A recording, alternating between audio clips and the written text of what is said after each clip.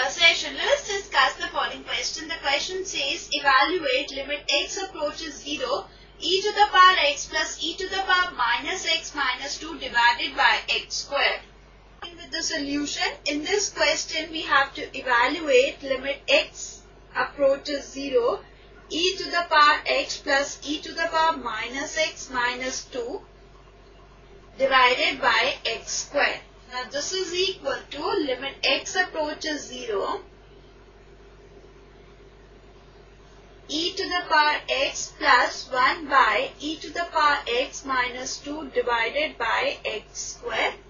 This is equal to limit x approaches 0 e to the power 2x plus 1 minus 2 e to the power x by e to the power x into x square.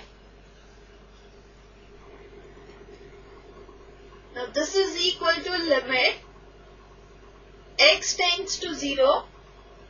Now e to the power 2x minus 2 into e to the power x plus 1 can be written as e to the power x minus 1 whole square. Right?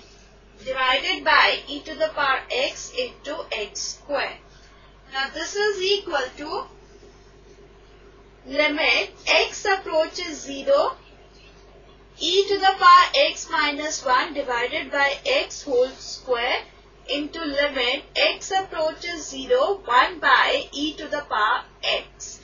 We know that limit x approaches 0 e to the power x minus 1 divided by x is equal to 1.